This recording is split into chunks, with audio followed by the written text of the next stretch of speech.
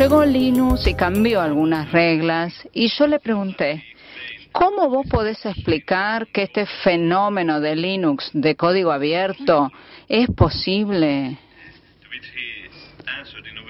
Y él respondió eh, con una modestia no tan típica finlandesa. Linux me dijo, esto tiene que ver con la nueva, así llamada ley de Linux. Hay tres puntos principales que también son su explicación de qué caracteriza la ética de trabajo en su máxima expresión en la era de la informática. Él comenzó con el motivo más obvio humano, la, supervivencia, ¿no? Que es el recordatorio más saludable que incluso en la era informática, la realidad de ganarse el sustento, traer el pan a casa o el trabajo duro no está desapareciendo.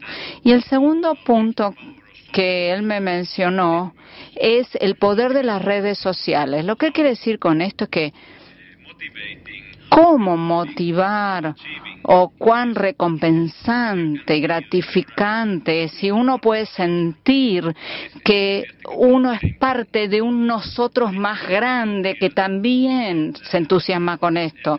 Y si también puede sentir que le entusiasma ser parte de ese nosotros más grande, tanto mejor. Entonces, comienza a pensar que es parte de lo que yo llamo una comunidad de enriquecimiento. Es decir, usted está en interacción enriquecedora con otros que lo ayudan a subir más alto que lo que podría ser individualmente o solo. Sabemos a partir de la historia primitiva o anterior que estas son las más grandes motivaciones de la creatividad humana. Por ejemplo, en las artes o en la ciencia.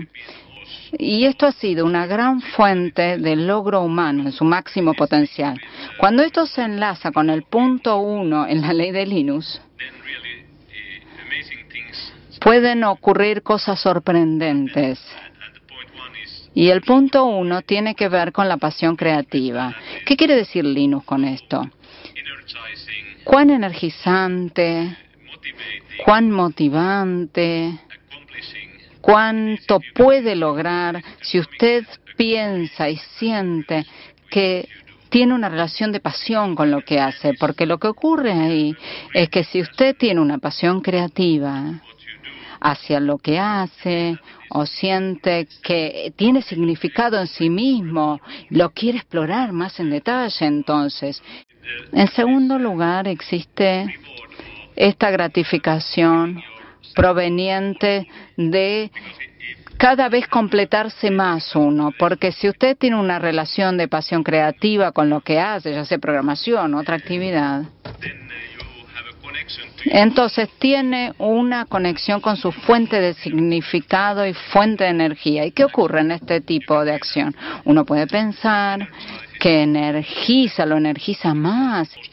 Es uno de los estados más motivantes. Y Linus decía, bueno, esto es lo que estamos utilizando como la fuerza en el movimiento del código abierto, el open source.